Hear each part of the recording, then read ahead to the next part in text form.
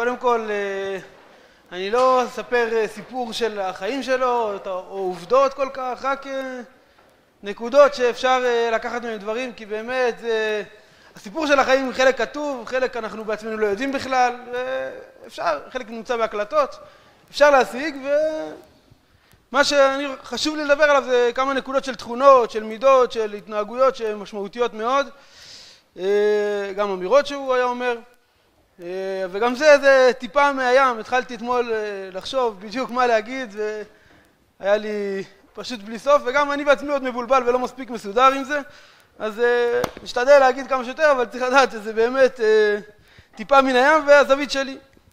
אז קודם כל צריך לדעת שהרב סבא היה חי חיים לא נורמליים בשום צורה שהיא, חיים משוגעים, שבאמת אי אפשר לתאר אותם בכלל, מי שלא ראה את הלו"ז שלו, גם הלו"ז הכתוב, אבל גם בפועל שכל הזמן היה משתנה, הוא היה נוסע מכאן לשם, בכל מקום בארץ, מעביר שיעור, נוסע למשהו בכנסת, מפגש עם, עם שר, פתאום מגיע שתיים בלילה כבר, ואז, ואז מתחילים להתקשר אליו אנשים, להגיד לו, הרב אפשר ככה, הרב אפשר ככה. בממוצע הוא היה ישן ברוב שנותיו, שעתיים שלוש בלילה, זה דבר שבאמת אף אחד לא יודע להסביר אותו, אף אחד לא יודע, פשוט מסירות נפש על כל דבר, על כל עניין, גם אם זה היה ניחום אבלים של תלמיד, או או שיעור להעביר, הכל היה עושה בלי סוף, כל הזמן רק לפעול. יש אולי איזה סיפור שממש ממחיש את זה, לפני ארבעים שנה היה לו אירוע לבבי, והרופא שטיפל בו אמר אולי צריך קצת להפחית, קצת פחות דברים לעשות, קצת יותר לנוח. ככה הלב יוכל לעבוד כמו שצריך. הסבא שלי ענה לו, בשביל מה יש לי לב? למה אני צריך לב אם אני לא יכול לעשות איתו דברים בשביל עם ישראל? הלב שלי הוא רק בשביל זה. והוא לא הפחית בכלל, ובאמת הנס הזה של השיגעון של החיים שלו פשוט המשיך. לפני שנה, בהולדת 89, עשינו, הרמנו לחיים המשפחה, דיברנו איתו, וביקשנו ממנו שלסיכום יגיד איזה משהו. אז הוא אמר, כל יהודי שייתנו לו בקשה אחת, לחזור, ייתנו לו בקשה אחת בשמיים, מה, מה הוא היה רוצה לשנות, מה הוא רוצה לעשות? הוא אומר, אפשר לבקש דבר אחד, עוד שעה אחת בעולם הזה. כי שעה אחת בעולם הזה טובה יותר מכל חיי העולם הבא. עוד קצת לפעול, עוד קצת לעשות. זה היה מרכז החיים שלו, רק לפעול למען עם ישראל, לפעול למען ארץ ישראל כמה שיותר, בלי לנוח בכלל בשביל עצמו, בכלום. אפילו, סתם, המצב הרפואי שלו לפני, באזור הלוויה, כמה אנשים שאלו, מה, מה גרם לו, מה גרם לו בסוף להיפטר, מה המחלה שגמרה, האם זה זה או זה, השאלה הייתה צריכה להיות הפוכה, מה גרם לו לחיות 90 שנה, לא מה גרם לו להיפטר, הוא היה חי חיים בלתי הגיוניים, לפני, ממש שבועיים לפני שהוא נפטר, אני הייתי אצלו בבית, היה לנו תורנות של נכדים, אז אני הייתי אצלו, והוא בא והראה לי, הוא היה צריך לקחת כדורים כל בוקר, כל ערב, הוא הראה לי ערימת כדורים, אמר לי, תראה כמה סוכריות אני צריך לבלוע. ממש היה חיים פלאיים. הרב נריה, ביום הולדת 60 שלו, אמר, צריך לברך על הרב דרוקמן, ברוך שעשה לי נס באדם הזה. הרב דרוקמן הוא פלא, פלא אדם. זה שהוא חי, זה שהוא, כל מה שהוא עושה, זה פלא. אז אני אנסה לגעת בכמה נקודות, שוב, בחיים שלו, שאולי אפשר לקבל מהם, אפשר, יש עוד הרבה דברים שאפשר לקבל מהדברים שלו, זה כמה נקודות ש... החלטתי לבחור מתוך כל הרשימות. אז קודם כל, נקודה ראשונה שבאמת הייתה ניכרת ומורגשת זה אהבת ישראל. סבא חי חיים של אהבת ישראל בצורה שלא מכיר אף אחד, עד, ש... עד כדי כך שהרב אליהו, אמירה די ידועה, אבל הרב אליהו היה אומר עליו שמישהו הגיע אליו פעם, ביקש ממנו, הרב אני צריך פטנט לאהבת ישראל. יש יהודים שקשה איתם, יהודים שמעצבנים, יהודים שאי אפשר לחיות איתם, איך, איך, איך מצליחים לאהוב את כל עם ישראל? איך מצליחים? אז הרב מרדכי אמר לו, תשמע, לי יש פטנט. אני אוהב את הרב זרוקמן, והרב זרוקמן אוהב את כל עם ישראל. ככה אני אוהב את כל עם ישראל. באמת זה היה כל כך מוחש, היו מגיעים אליו, גם בשבעה עכשיו ראינו, מגיעים אליו מצד אחד ראשי ממשלה, שרים, חברי כנסת, כולם באים לדבר איתו, רבנים, בלי סוף, ומגיעים קמצנים, ומגיע ילד בן שלוש שמפריע לו בשיעור כי אבא שלו עבר ליד בדיוק והוא נכנס לבית כי הבית תמיד פתוח ופשוט הכל באותה, באותה מידה, כולם אצלו שווים. קטון כגדול תשמעו, ממש אפשר לשאול אחד אחד. מי שבא לדבר איתו, מדבר איתו. מי שמבקש ממנו בקשה, כמובן בשמחה. כל מה שיגידו, כל מה שיעשו, אה, לא משנה מה, חתונות, דברים, כל מי שביקש ממנו היה משתדל להגיע, משתדל לעשות. ממש פשוט אוהב את כולם, מרגיש שכולם אחים שלו. וזה באמת בא לידי ביטוי בהמון המון דוגמאות. אחת הדוגמאות שאצלי נחרטו מאוד חזק בלב זה סיפור של אהבת ישראל. הוא הקריא לנו פעם, הוא היה משתדל אה, לעבור על אה, שבת או עיתונים, דברים כאלה שכאילו למצוא מהם את הנקודות שהיו... אז פעם הוא הקריא לנו משיחת השבוע איזה סיפור. עכשיו זה סיפור שעסק בסגולת ישראל. איך גם פושע, עבריין כל כך גדול, אה, יכול, יכול לחזור בתשובה, ו... מה זה לחזור בתשובה? חי חיים פשוטים שפתאום מתגלה בהם ניצוץ אלוקי. והוא היה מספר את הסיפור הזה, ופשוט פורץ בבכי באמצע. עכשיו, זה כאילו אנשים יכולים להגיד אולי משחק, אולי אה, חלק מהמתודות. זה קרה פעם אחת, זה קרה פעמיים, זה קרה שלוש פעמים, זה קרה גם ארבע שנים אחרי זה שהוא סיפר את הסיפור שוב פעם. זה היה דבר שהוא התרגש ממעשים של עם ישראל. כל דבר שהיה, כאילו, כאילו זה הוא, כאילו זה חלק ממנו. אה, עוד עניין, אולי קטגוריה שהתלבטתי אם היא תהיה נפרדת קצת, אבל מידת החינוך שלו. הוא היה מחנך אז התלבטתי להגיד את זה בצורה נפרדת, להגיד החינוך, החינוך היה משהו מהותי אצלו, אבל אחרי זה החלטתי שהחינוך זה פשוט בתוך אהבת ישראל. התלמידים שלו, כולם, כולם הרגישו כמו בנים שלו. האמת שלא רק תלמידים שלו, כל מי שנפגש איתו, היינו בשבעה, עשרות אנשים מגיעים, איבדתי אבא, ו- ומספרים לך דברים ש- שסבא שלי היה בשבילם, כאילו אפילו יותר מבשבילי. אה, היו נכנסים לבית, היו נמצאים איפה שהם רוצים, עושים מה שהם רוצים, סבא היה עונה להם על כל דבר, בנחת, עוזר להם, מתייחס אליהם. אה, היה איזה אה, קבצנית בצפת, אני לא יודע איך היא הצליחה להשיג את המספר של סבא שלי ואיך... אה, מדי פעם היא הייתה מגיעה לסופר עם עגלה מלאה וסבא שלי היה איכשהו בסוף משלם על כל העגלה דרך הטלפון עם אשראי או עם התחייבות שהוא יגיע וישלח להם המון המון סיפורים כאלה שכן, אם אתה היית מגיע אליי, אם אח שלך היה מגיע אליך ומבקש ממך, אז היית עושה בשבילו, אז ברור שאני אעשה גם בשבילם. והתלמידים שלו, אז כולם הרגישו ממש כמו בנים, ממש ממש. אה, וזה לא סתם ביטוי, תלמידים בישיבה שרצו להעיף אותם, אז סבא שלי נלחם על כל אחד ואחד, אמר, איך אתה יכול, איך אתה יכול להגיד ככה על, על, על, על תלמיד שלך? תלמיד שלי שמתנהג לא בסדר, אם הבן שלך היה אותו דבר, היית אומר עליו את הדברים האלה, היית מתחנן שישאירו אותו בישיבה. אז אני מתחנן לכל תלמיד שלי עכשיו, ופועל בשבילו. ו... ובחלקם, ברוך השם, ברובם אפילו זה הראה פלאים. היה סיפור אחד בשבעה שמישהו סיפר, שבישיבה שלו זרקו מישהו, זרקו אותו החוצה.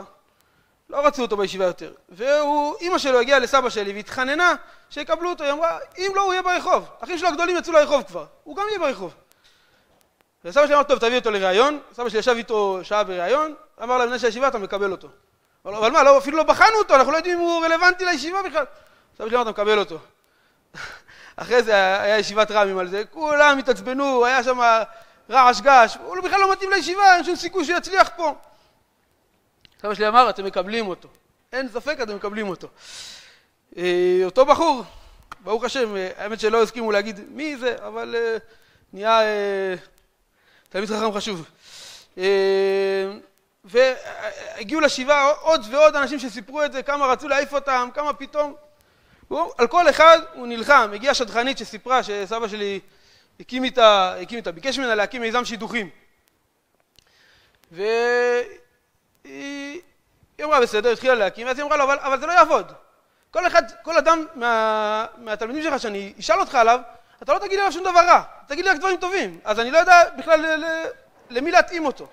אמר לה, מה את רוצה? אם הייתי שואל אותך על הבן שלך, היית אומרת שהוא מכוער? היית אומרת שיש לו, אה, שהוא לא יודע ללמוד תורה, שהוא לא קם בבוקר? לא, אני אגיד את הדברים הטובים. אז היה שם רב אחר שאמר, אל תדאגי, בכלל לאו תשמעי הן. מה שהוא לא אומר לך, כנראה שאין בו. אם הוא לא אומר עכשיו ללמוד תורה, כנראה שהוא לא כל כך אוהב ללמוד תורה. אם הוא היה אוהב, הוא היה אומר לך. אה, ממש, אבל ההרגשה הייתה שכולם, כולם, כולם מרגישים את האהבה שלו ובאמת זה מה שהקרין על החינוך, הוא לא לימד תורה, הוא, הוא רצה להעניק לתלמידים שלו את האהבה, את האהבה שלו לתורה, אה, לתורה, למעשים טובים. אה, אז זה בעניין הזה של אהבת ישראל. ממש, באמת, כולם, כולם, כולם היו יכולים לעבור אצלו, לשמוע ממנו, לדבר איתו. הגיע איזה מישהו מבני עקיבא, שאמר, אני, כל קומונרית שהייתה מתקשרת אליי עם שאלה, הייתי אומר, תשאלי את הרב ישר אליו. והיו באמת אין ספור פעמים, אני זוכר בתור נכד שהיה שם בשעות לא שעות, שמתקשרים, נכנסים, מדברים, בלי, בלי חשבון בכלל. אז זה בקטגוריה הזאת של אהבת ישראל, שבאמת אחד הדברים המרכזיים והחשובים. רציתי גם לדבר על תורה. גם אם דיברנו על ספרים, אז לא יודע כמה זה תמיד מובע שם, וכאילו הרבה אנשים חושבים, הוא היה איש ציבור, הוא לא היה איש של תורה. וזה פשוט לא נכון, זה פשוט צד שצריך להכיר. אבל קודם כל משחר ינקותו, סבא מאוד מאוד מאוד אהב ללמוד תורה. אפילו הוא מספר שבגיל שלוש ההורים שלו רצו לשלוח אותו לגן ילדים. הוא אמר, מה זאת אומרת? אני הולך לתלמוד תורה. הוא אמר להורים שלו, אני הולך לתלמוד תורה, אני לא הולך לגן ילדים. ובאמת שלחו אותו בסוף לתלמוד תורה. עכשיו אתה רואה, ילד בן שלוש, מה הוא כבר יודע? נשמה מיוחדת. גם יותר מאוחר, אנחנו שאלנו אותו תמיד, סבא, כל השליחויות, כל הדברים שנעשת, מתי למדת תורה? מתי היה לך זמן ללמוד? אה, בסדר, היה לי במזוודה, ש"ס, רמב"ם, כשהיה לי זמן הייתי פותח ולומד.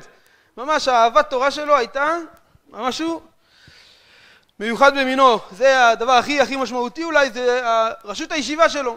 הוא כיהן בראשות הישיבה באור עציון, גם כשהוא היה חבר כנסת וגם כשהוא עשה עוד מיליון עיסוקים אחרים, הישיבה הייתה מקבלת, אני חושב, מה שאני ראיתי לפחות בישיבות אחרות, כמות שיעורים שאין בשום ישיבה אחרת שראש ישיבה מעביר אותה. היה לו, אני, אני, אני לא זוכר מספר מדויק, אבל מעל 12 שיעורים בשבוע, ובשבת הוא היה מעביר שמונה שיעורים. לא כולם לישיבה, אבל לדעתי חמישה לישיבה. ממש, הוא היה מעביר להם שיעורי תורה בכמויות. ואפילו כשהוא חבר כנסת, כן, אז היה, היה לו ישיבת קבינט בממשלה, אז הוא היה דוחה את השיעור ל-12 בלילה, כי ללמוד, ללמוד תורה צריך, דברים חשובים, בסדר, אבל שיעור יהיה. אפילו ממש שבועיים לפני שהוא, מה זה שבועיים? לפני שהוא, המצב שלו הידרדר, ממש לפני שגילו את הקורונה, באותו לילה הוא העביר שיעור עד 12 וחצי בלילה, העביר שלושה שיעורים, אני לא טועה. הוא היה חלש מאוד באותו בוקר, היה ספק אם יש שיעור או לא יש שיעור, הוא התעורר, הלך לנוח בצהריים, התעורר, אמר, יש שיעור, והעביר שלושה שיעורים ב-12 וחצי בלילה, בן דוד שלי שהיה גם, שהיה שם, אמר לו, סבא, כבר צריך לישון, עוד קצת, עוד קצת. בסוף באמת ב-12 וחצי אז הוא סיים ונענה לדרישות של, של הבן דוד. באמת אהבת תורה שלו הייתה משהו מיוחד במינו. ואולי אפילו אספר סיפור אישי שלי, אני עשיתי סיום פה בבית אל. ואמרתי לאמא שלי, אם את רוצה, נשמח אם הוא יגיע, אבל לא, לא צריך להטריח, אם הוא יכול, יכול. אז אמא שלי ישר התקשרה אל סבא ושאלה אותו אם הוא יכול להגיע, אם הוא רוצה להגיע. זאת אומרת, רוצה אני ודאי רוצה. שאלה אם אני יכול. אז אני נבדוק, יש לי במוצאי שבת שיעור, נבדוק אם אני יכול להגיע לפני, אחרי, אולי תזיזו קצת שיהיה יותר מוקדם. בסוף למסקנה הוא אמר, אני אגיע. הוא הגיע לסיום באמת, והתיישב, ישב שם, אחרי עשר דקות הוא אומר לאמא שלי, טוב, אני חייב לחזור, אחרת אני אחרי את השיעור שאני צריך להעביר חזרה באור עציון. אז הוא אומר לו, אבל אבא, ישבת פה עשר דקות, מה תחזור עכשיו? תגיד לפחות משהו, תעשה... צריך להגיע לשיעור, טוב, אז לפחות תדבר. אז הוא קם ועמד ואמר, ממש שתי משפטים. הוא אמר, כל יהודי מתפלל כל יום ונהיה אנחנו וצאצאינו וצאצאי צאצאינו, כולנו יודעי שמך ויודעי תורתך לשמה. אני עכשיו זכיתי לזה, אני עכשיו רואה את זה בעיניים. מה, צריך, מה יהודי צריך יותר מזה? קם והלך. למחרת אמא שלי התקשרה אליו, אמרה לו, סליחה, שהבאנו אותך בשביל עשר דקות, לא נעים. נסעת את כל הנסיעה הזאת, שעה, שלוש שעות של נסיעה, בשביל לשבת עשר דקות, אפילו לא טעמת כלום. הוא אמר לה, לא הבנתי, זה בשבילי. אני הייתי צריך להרגיש את ההרגשה הזאת של, של אנחנו וצאצאינו. הנה, זה שמחה בשבילי, זה שהצאצאים שלי ממשיכים ללמוד תורה בצורה כזאת. זה באמת דבר שמחלחל, מחלחל, האהבת תורה הזאתי, ממש.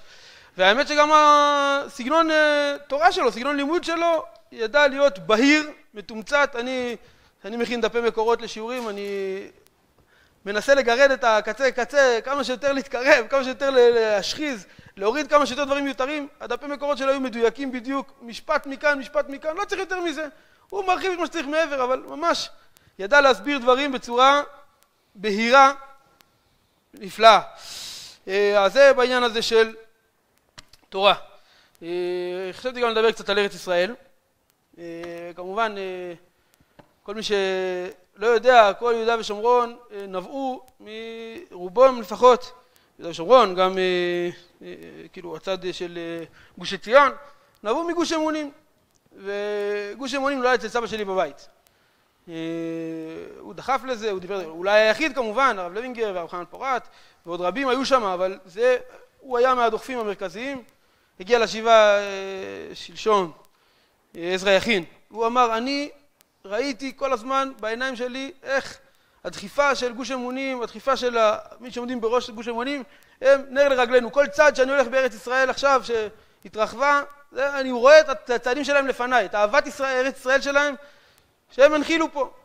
והאמת שזה באמת לא הדוגמה המרכזית, אבל זה שהוא פעל את זה ועשה את זה, הוא גם היה עובר בכל מקום בארץ שהיו מזמינים אותו ומתרגש מכל דבר ודבר שיש, היינו גם פעם עושים איתו טיולים, זה היה גם דבר מיוחד מאוד להסתובב איתו בארץ ישראל, אבל האמת שגם מהשיעורים שלו ומהדיבורים שלו אתה שומע את אהבת ארץ ישראל שהיא פשוט נשפכת, פשוט נשפכת ממש מכל מקום, מכל דבר, החיבה לפירות הארץ ולכל דבר שהוא תוצרת הארץ הייתה דבר מאוד מיוחד. אה, זה בנושא של ארץ ישראל. אה, אה, עוד סיפור יפה ששמעתי, גם בשבעה, לא ידעתי אותו לפני. פעם הוא טס לבלגיה, לכל מיני פגישות ודברים, ושם בבלגיה זה הוא, היה לו יום רצוף, פגישות רצופות אחת אחרי השנייה, כדרכו בקודש לו"ז צפוף. הוא סיים את הפגישות, ואז הוא שאל את מי שהביא אותו, מתי הטיסה חזרה? אז הוא אמר לו, מחר בבוקר. למה מחר בבוקר? סיימנו כבר, למה צריך מחר בבוקר? אז אותו יהודי אמר לו, מה, רוב האנשים צריכים קצת לנוח בין טיסה לטיסה, בין... אה, אז חשבנו שהטיסה תהיה בבוקר, תוכל... אה, שתוכל לנוח קצת. אז הוא אמר, מה זאת אומרת, עוד לילה להישאר בחוץ לארץ? תבדקו אם אפשר להקדים את הטיסה לעכשיו, שנוכל לחזור לארץ.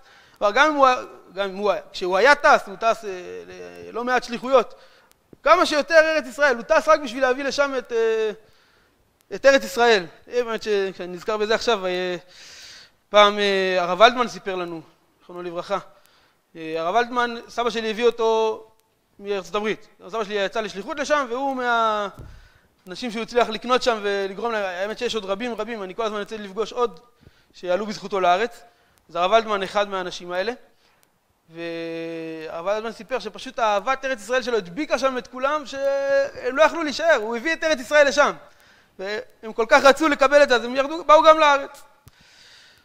אה, אז זה שלוש נקודות מרכזיות ואני חושב שאחד הדברים המרכזיים שמחיה את שלושתם זה היחס הנכון שלו לתחיית האומה, לארץ ישראל, לעם ישראל, הזמן שאנחנו נמצאים בו הרבה פעמים היו שואלים אותו, סבא, מה אתה אומר על אה, הדבר הזה ועל הדבר הזה שהממשלה עשתה ועל אה, פינויים שיש כל הזמן? כמובן שזה דברים לא טובים, אבל הוא אומר לנו, האמת שזה גם על התקדמות הקודש, כן? איך עוד אין לנו מספיק רוחניות בארץ ישראל, בעם ישראל? למה אנחנו לא יכולים לדחוף יותר קדימה?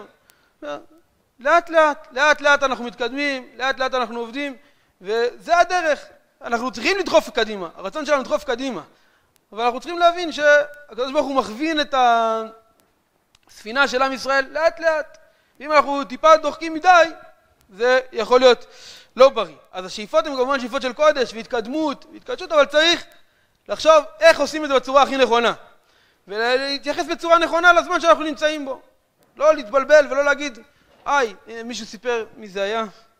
מישהו סיפר עכשיו שהיה ישיבת רבנים, אחד הרבנים אמר, אה אולי זה היה ראש אכ"א שדיבר על זה, יעקב שפירא גם סיפר את זה נכון, אבל גם ראש אכ"א סיפר את זה נראה לי אחרי זה, יעקב שפירא סיפר את זה נכון, אה, שהיה פגישה של רבנים, ואחד הרבנים אמר אם יקרה ככה וככה זה יהיה חורבן. הסבא שלי נזדעק ואמר חורבן? חורבן? תסתכל מה המצב שלנו עכשיו. אז גם אם יהיה טיפה ירידה זה לא חורבן, זה מצב לא טוב, צריך להתקדם, צריך לשאוף קדימה הוא היה מדגיש לנו כל הזמן את ההתקדמות שיש גם בתחילת הקודש. וזה, הוא לא היה אומר את זה, אולי עוד נושא שלא הכנסתי אותו פה, אבל הצניעות והענווה שהיו כאילו, אני עשיתי? עשינו, הלכנו, פעלנו. סבא, מי זה עשינו? מי זה הלכנו? מי היה איתך? אני. הוא היה עושה והיה עושה הכל בצניעות. אז הוא הקים את uh, ישיבת כרם ביבנה. ומכוח זה אחרי זה הגיע הרב זלמן, והרצן הדרורי, ועוד אה, רבים רבים, הגיעו אחרי זה למרכז, ומכוחם יצאו אחרי זה הישיבות, ומכוחם יצא אחרי זה כל התורה וארץ ישראל, אז זה לא, ודאי לא הוא, לא הכל הוא, אבל זה אה, הדחיפה הזאת שלאט לאט, לאט לאט אנחנו בונים, מוסיפים בקודש, שצריך דוחפים, אבל לא צריך להיות לחוצים מזה שיש עכשיו איזה בעיה, איזה קושי. נכון, יש קושי, צריך להתגבר עליו. יש לנו מציאות לא טובה, אנחנו נחשוב איך לקדם יותר. אבל לא צריך להיות במשבר בגלל זה, כי אנחנו בתהליך של גאולה. הקדוש ברוך הוא מביא אותנו לאט לאט לשם, ולא צריך להיות במשברים. אני זוכר ברמה האישית, הייתי אז uh, בכיתה ד', אבל uh, אחרי הגירוש, אחרי הגירוש והפינוי מעמונה, הגענו כל הבני דודים, והיה שם uh, צעקות uh, רציניות מאוד. היה ויכוחים ומריבות, וסבא שלי דיבר בנחת עם כולם, ואמר, נכון, המצב לא טוב, נכון, אנחנו מתקדמים לאט לאט, עם ישראל לאט לאט, לא מפחד ולא אה, נופל. זו נקודה אה, חשובה ומרכזית מאוד, להבין שבאמת אנחנו נמצאים בדור של גאולה, בזמן של גאולה, וגם אם יש קשיים, אה, גם אם יש קשיים, אז הם קשיים שאנחנו צריכים להתגבר עליהם. אני רוצה להשמיע לכם משהו שהוא אה, קצת אולי יחזק אותנו בעניין הזה של באמת איך עכשיו אנחנו מתקדמים, מקדמים את עם ישראל, מה אנחנו עושים עם הדמות הזאת. בסופו של דבר היה פה דמות ענקית, ומה אנחנו עושים איתה. שתמיד חכם שמת, מי ייתן לנו תמונתו? ופתחנו בדברי ירושלמי. אני חושב, רבותיי, אני אומר את זה פה, על יד ארון הקודש, מי ייתן לנו תמורתו? אתם! אתם!